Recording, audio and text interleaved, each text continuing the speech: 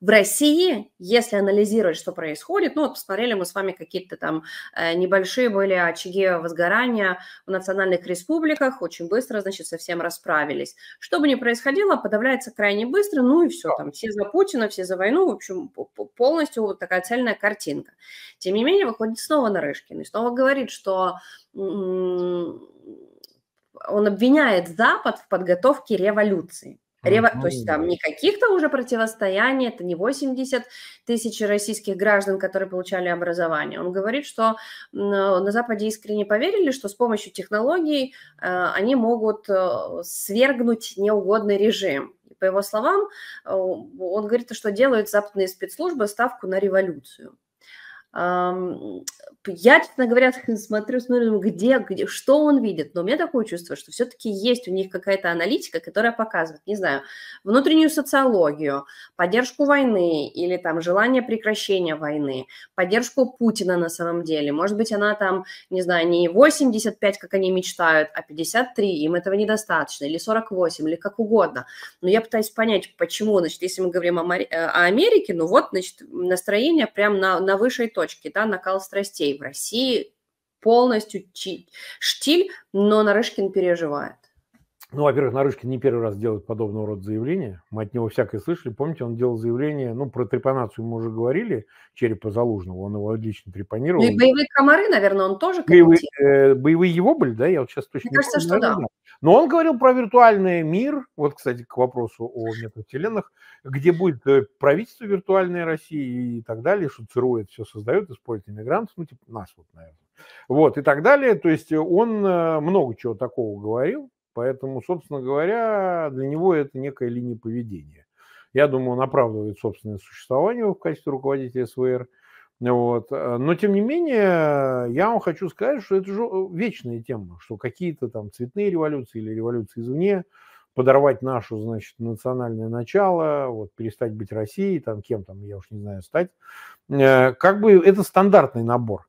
То, что у этого нет никаких подтверждений, то, что, ну, потому что, давайте так говорить, если бы Америка сильно хотела устроить, ну, я уж не говорю революцию, а бунты и какой-то, в общем, стимулировать э, внутреннее настроение протеста, она могла бы это сделать. Ну, знаете, если в города вкинуть так э, при разной, используя возможности, 100 тысяч единиц оружия, еще и не, неизвестно, как бы все повернулось, мягко говоря, если так вот озадачиться проблемой, через Украину закинуть вот такое количество оружия. Еще неизвестно, чем бы это все, мягко закончилось. Может, никакой не революции, но перебили народ немало, понимаете?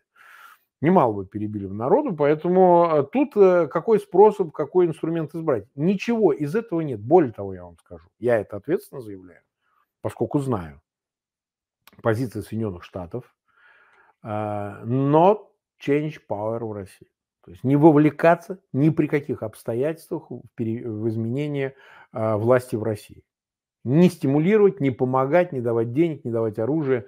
Не вовлекаться, находиться на ревизионном расстоянии. Не дай бог сделать хоть что-то, что будет сочтено попыткой организовать такую революцию. И ответственно об этом заявляю, потому что это позиция Госдепа, это позиция Белого дома, и она практически никогда не менялась даже в советские годы. Удивительное дело. А при Путине она усугубилась. Потому что при общей нестабильности и фоном войны они считают, что к власти могут прийти силы гораздо более худшие, чем сам Путин. Да, они так и говорят. Ну а что будет, если придут Гиркин и Пиперкины? И вот события 24 июня их окончательно в этом убедили, понимаете? Вообще окончательно. Вот они еще сомневались, а может, а где-то, а как-то. А сейчас они окончательно решили. Никакого power. Никаких. Ну, будет что-то происходить. Пусть происходит только без нас. Препятствовать они не будут. Если в России будет революция, я не думаю, что они прям бросятся помогать Путину. Я так не считаю. Они будут за этим наблюдать и пытаться выстраивать отношения с любой новой властью, какая бы она ни была, ничего не поделаешь, потому что любая попытка вмешательства, с их точки зрения, она усугубит ситуацию. Кто-то сочтет, что это там национальные интересы нарушены тем самым будут, естество национальное будет подернуто вот англосаксонским влиянием, еще чем-то и так далее. Ровно поэтому никакие цветные революции не затевались Америкой специально для свержения режима.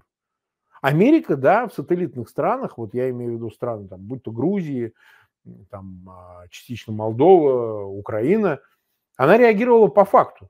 Люди хотят, людям помогают. когда они уже реально сами берут эту власть. Но не каких-то там печенек Госдепа, с которыми оббегали всех подряд. Этого не было ни разу.